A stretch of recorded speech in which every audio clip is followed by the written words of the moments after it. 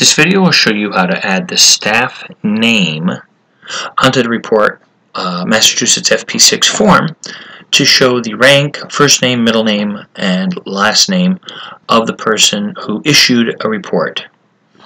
First thing we need to do is go to the properties of the query and we're going to see that the staff main table is not in there. Basically the permit has the issued by staff ID but it doesn't have all the individual name elements. So we're going to come down to staff. We're going to add the staff member table in.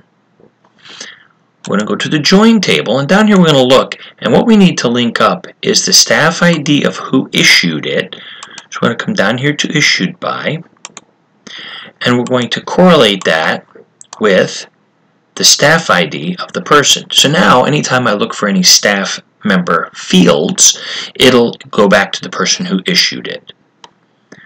We'll go back to our fields table, and now when we bring in our staff fields, we can bring in the rank,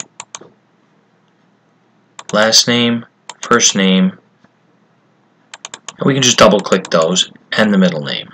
We're going to click Save and Close and Close. Now we're going to go into the layout of the report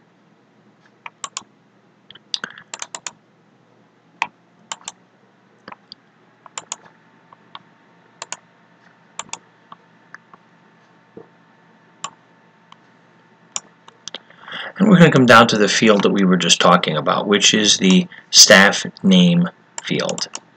In here is where we're going to put the expression that I had sent you originally, but let's just go ahead and put it in. It's going to be all trim, and now we can come right down here and double click our rank field. We're going to do a plus sign.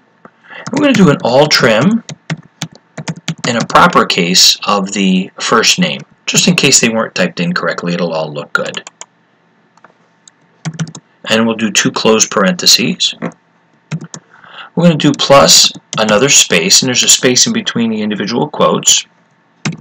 And then we're going to look to see whether or not we have a middle name, because I don't want an extra space if we do. So I'm going to go ahead and put in that if the middle name is empty,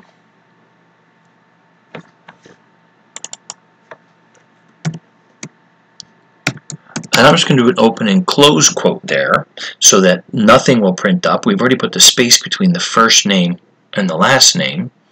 But if there is a name in there, I put another comma. I want to do the left first character of the middle name.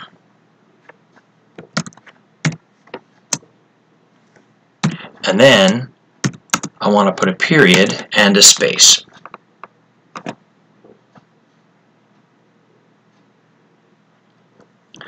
I'll end my if statement.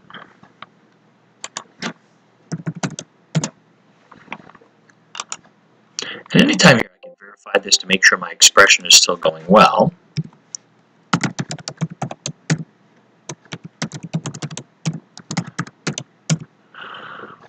And I'll go ahead and put my last name in.